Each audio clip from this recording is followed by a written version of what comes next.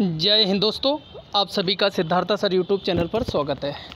तो आज जो मैं बात करने वाला हूँ, जो मध्य प्रदेश सरकार जो छात्रों के साथ क्या अन्याय कर रही है, क्या मध्य प्रदेश पुलिस की भर्ती की कोई डेट निश्चित है, क्या शिक्षक भर्ती की कोई डेट निश्चित है, इन सारे विषय पर और बाकी के जो पीएटी वगैरह हैं, इन सभी जो विषय की जो जितने भी जो एग्ज़ाम हैं, उनके बारे में हम पूरी आपको जानकारी देंगे कि कब क्या हो सकती है। तो चलिए जो न्यू है वो चैनल को सब्सक्राइब कर लें बेल बटन और जिनका गणित बिल्कुल कमज़ोर है वो रात के आठ बजे ज़रूर क्लास लिया करें।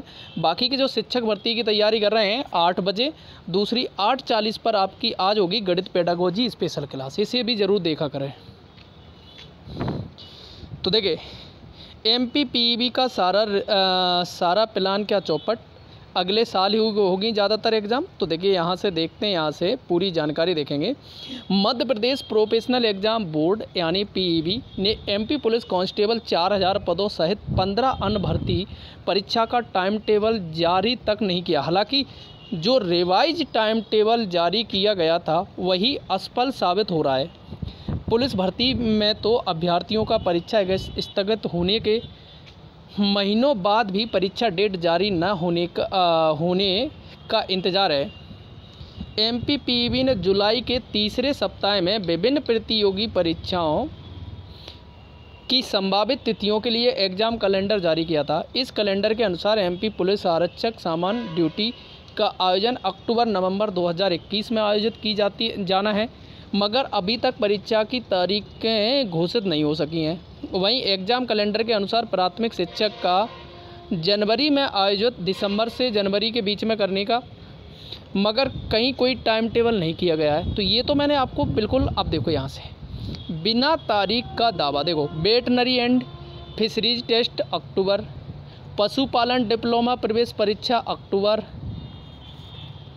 एग्रीकल्चर टेस्ट अक्टूबर और nursing pre selection October.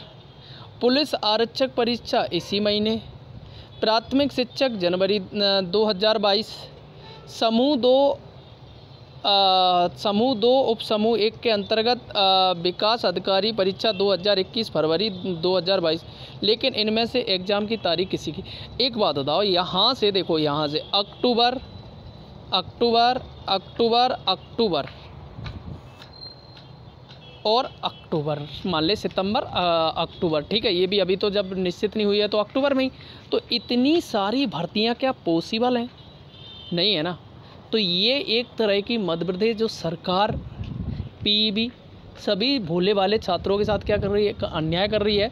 बाकी के मैं सभी छात्रों से ये कहूँगा कि भाई देखो, आपको डीमोटिवेट नहीं होना है।